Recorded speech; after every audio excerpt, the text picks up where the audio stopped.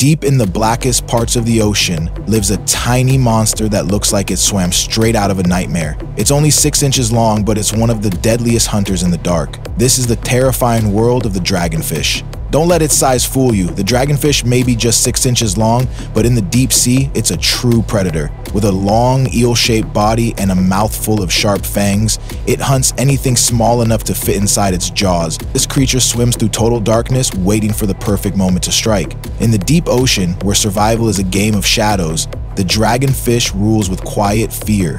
What makes the dragonfish even more terrifying is its powerful jawline. Its fangs are long and needle sharp perfect for catching prey that's nearly half its size. Unlike most fish, it can open its mouth wide enough to swallow big meals in one deadly bite. And those teeth, they're angled backward, so once a victim is caught, there's no way out. It's like nature gave this fish a built-in trap.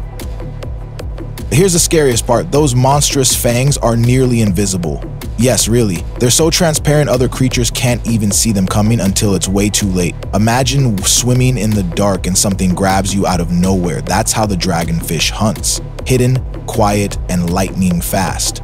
Scientists believe this invisibility helps it stay undetected by both predators and prey in the pitch black ocean. As if invisible teeth weren't spooky enough, the dragonfish also glows in the dark using a special light called bioluminescence. It lures prey close, just like an anglerfish does. But this glow also makes it look like a ghost swimming through black water. Some species even produce red light, which is super rare in deep sea creatures.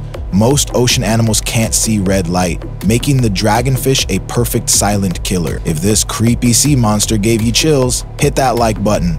Don't forget to share with your friends and subscribe for more wild creatures from the deep.